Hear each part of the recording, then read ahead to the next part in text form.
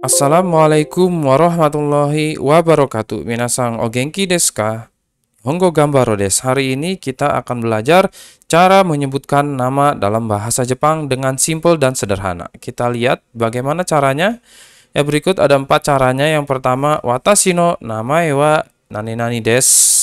Yang kedua, watashi wa nani nani des. Yang ketiga, watashi wa nani nani to imas. Yang keempat, watashi wa nani nani to moshimasu. Ya, semua ini ungkapan yang digunakan untuk menyebutkan nama dalam bahasa Jepang.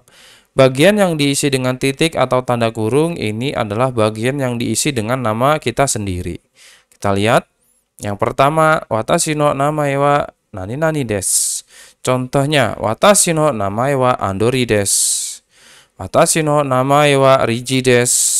Watashi no namae wa Akbar des. Dan seterusnya ya.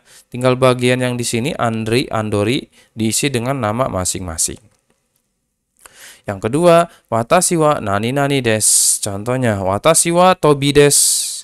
Ya, wat, di sini bagian tobinya diganti dengan nama sendiri. Ya, misal watashi wa agi des, watashi wa rizki des, dan seterusnya. Yang ketiga, watashi wa nani nani to imas. Contohnya, watashi wa faizu to imas.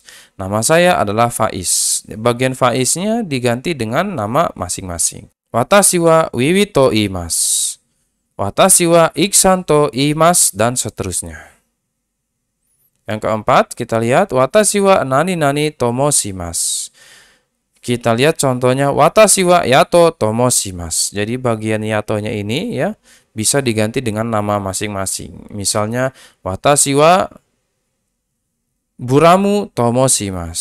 Watashi wa nakia tomoshimas dan seterusnya. Ya, itu kita sudah mempelajari bagaimana cara menyebutkan nama dalam bahasa Jepang. Selanjutnya, kalau bertanya nama bagaimana ya? Nah, ini ada dua cara untuk bertanya nama, yaitu yang pertama, oh nama ya, Pak. Ya. Siapa nama Anda? Gitu ya. Yang kedua, oh nama ya, Pak. Nandeska. Nama Anda siapa? Begitu ya. Jadi ini ungkapan yang kebanyakan orang menggunakan ungkapan seperti ini.